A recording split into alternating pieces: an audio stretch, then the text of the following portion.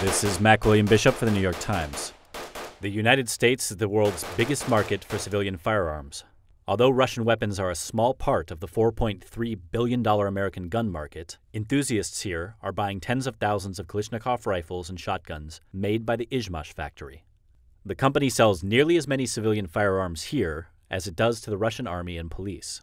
Civilian versions cannot fire in fully automatic, but they do share many features of assault rifles. In Manchester, New Hampshire, Owen Martin specializes in customizing AK style rifles for U.S. consumers.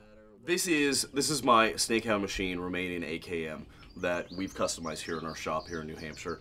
Um, basically, everything has changed. Um, we uh, offer um, uh, full customization and modernization with American parts for um, tactical and, and uh, competition shooting.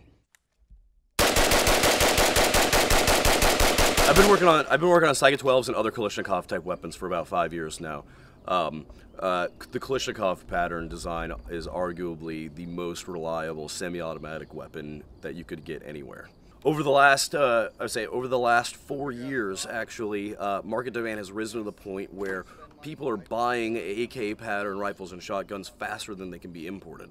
So the idea that that Izhmash is gearing up production specifically for the American market is definitely a good thing for myself and others because we'll have them more readily available.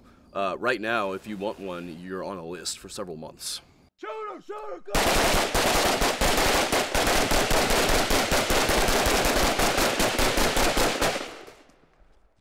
Rifle included, one of these type of guns will run from fourteen to eighteen hundred dollars.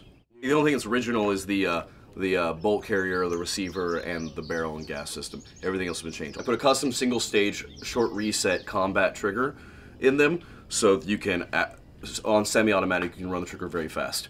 Um, in demonstrations, we'll put five rounds in a half second in an 8 by 10 piece of paper at 25 yards. Just, you know, to, to show what is capable with these guns.